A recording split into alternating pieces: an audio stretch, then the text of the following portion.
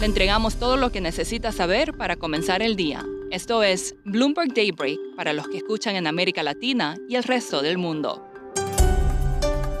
Buenos días y bienvenidos a Bloomberg Daybreak América Latina. Es lunes 15 de julio de 2024. Soy Ivana Vargués y hoy hablaremos de cómo los inversores aumentan las apuestas a que Donald Trump ganará las elecciones presidenciales de Estados Unidos tras el intento de asesinato.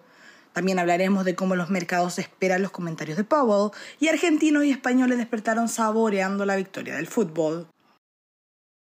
Comenzamos con Estados Unidos. Donald Trump cambió su enfoque de campaña hacia la unidad después de ser herido en un intento de asesinato, pidiendo a su rival en las primarias, Nikki Haley, asistir a la Convención Nacional Republicana, dijeron personas familiarizadas. Mientras tanto, el presidente Joe Biden instó a los candidatos a enfriar su retórica, haciendo hincapié en que la violencia política no se puede normalizar.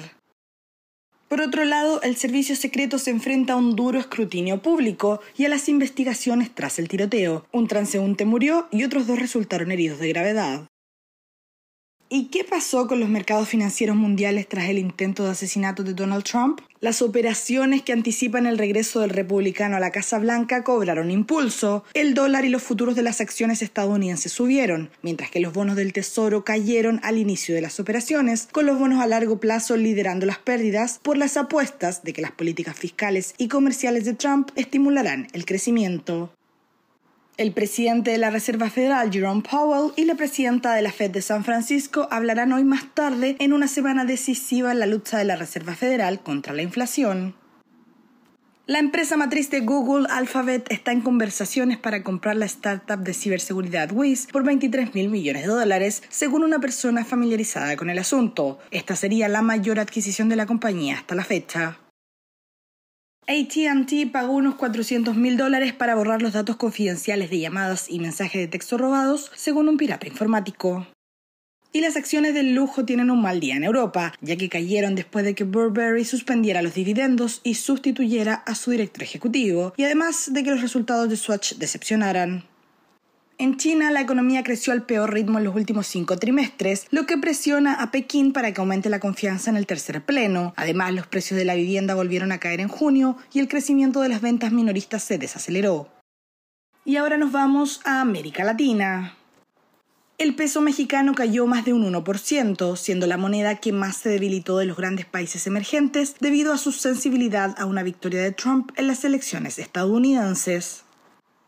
Los bonos latinoamericanos en moneda local se enfrentarán a otra amenaza en los próximos meses, la niña. Este fenómeno meteorológico provocará un aumento de la inflación debido a la subida de los precios de los alimentos, según Columbia Threadneedle Investments. Los activos de países como Brasil, Argentina y los de Centroamérica están especialmente expuestos al riesgo de fenómenos meteorológicos impredecibles, según TCW Group.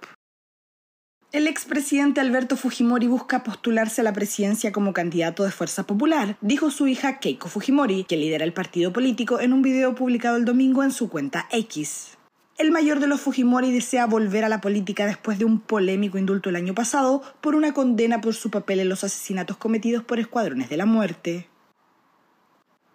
Por otro lado, en México, la presidenta electa Claudia Sheinbaum se comprometió a poner en marcha un plan hídrico a gran escala para el centro del país, uno de los primeros pasos de una estrategia nacional más amplia para hacer frente a la escasez de agua tras la preocupación por la mala distribución y las frecuentes sequías. En Ecuador, mientras tanto, el autor material del asesinato del candidato presidencial Fernando Villavicencio fue condenado el viernes a más de 34 años de prisión, informó AFP. Y terminamos con el fútbol. Argentina conquistó su decimosexto título de la Copa América al derrotar a Colombia por 1-0 en un partido ensombrecido por la lesión de Lionel Messi. La falta de control en los accesos al estadio retrasó el inicio, ya que cientos de aficionados sin entradas se agolparon en las puertas. Esto aumentó la preocupación sobre la capacidad de Estados Unidos para organizar la Copa Mundial de 2026. Pero también fue un gran fin de semana para España. La selección nacional de fútbol conquistó su cuarta Eurocopa, todo un récord, tras vencer a Inglaterra por 2-1 en la final del torneo. Por otra parte, Carlos Alcaraz se impuso a Novak Djokovic en tres sets para conquistar su segundo título consecutivo de Wimbledon. El premio se lo entregó la princesa de Gales, Kate Middleton. Eso es todo por hoy. Para más contenido de Bloomberg News en español puede ver nuestro newsletter 5 cosas o nuestros canales de X, WhatsApp y TikTok. Los vínculos están en la descripción. Soy Ivana Vargas. Gracias por escucharnos. Para conocer todas las noticias que necesita para comenzar el día, revise Daybreak en la app Bloomberg Professional, donde puede personalizar las noticias que desee recibir. También puede suscribirse a la versión solo audio en Spotify, Apple Podcasts o la plataforma de su preferencia. Eso es todo por hoy. Escuche de lunes a viernes Bloomberg Daybreak.